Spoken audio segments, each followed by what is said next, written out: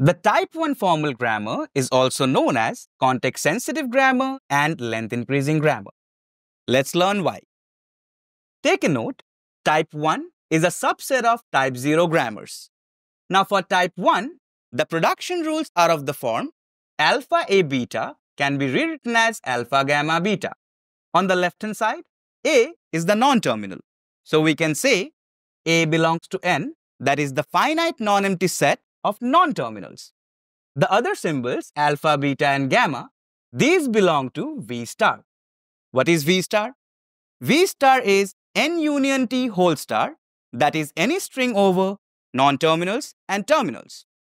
Now I told you this is a subset of type 0. Let me show you how. V star n V star can be rewritten as V star. This is the form of the production rule followed in type 0. Now if you take this production rules form, notice on type 0's form, we have got V star in either side of n. Here also, we have got alpha and beta on the sides of A. I told you already alpha beta belongs to V star. So these are nothing but these V stars. A belongs to N, so A is clearly this non-terminal N. Now what about the right hand side?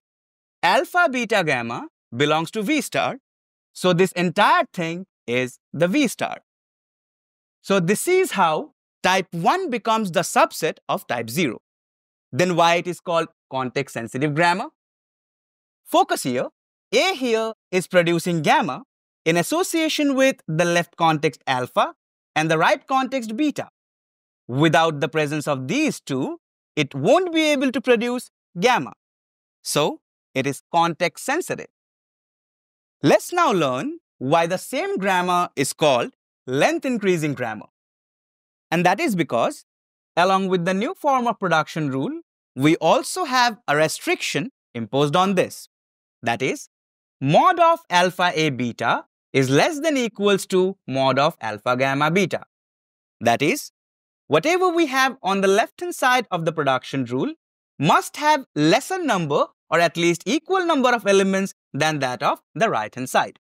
So, whenever we will generate the right hand side from the left hand side, the length will only increase.